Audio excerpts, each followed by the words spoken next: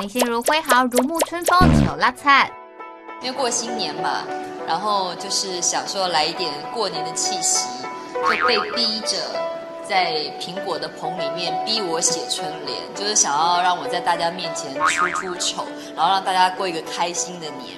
想说写一个跟那个过年没有什么关系的东西，看了就知道。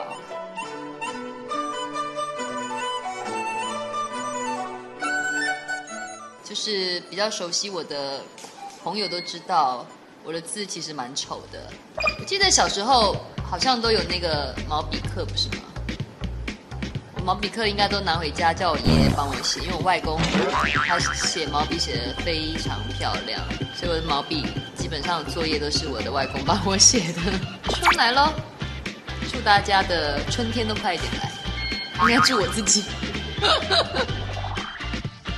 哇！完蛋，这个春有点拉惨，还蛮像我的字的哎。祝大家今年都可以如沐春风。只写一幅不够诚意啦，加码再写一个。哦，我今天在你们这边很多书卷气哦，应该可以很快嫁出去了。好像还蛮好看的。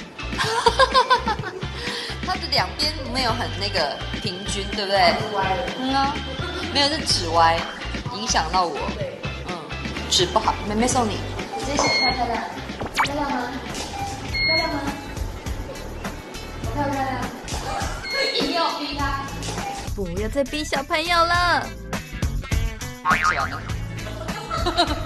没了。还想我干嘛？喂，啊，你刚刚的书卷气呢？都不怕嫁不出去啊？嫁不嫁我是无所谓啦。怎么讲这么小声？希望也可以有。顺顺利利的感情啊，不要再被被拍到一些乌龙的 绯闻之类的。什么东西？标准的话，我觉得心灵相通比较重要，但是外在条件依然就是起码要顺眼，然后要是个诚实的人。有了刀新闻，祝你赶快摆脱神秘行列，不逃。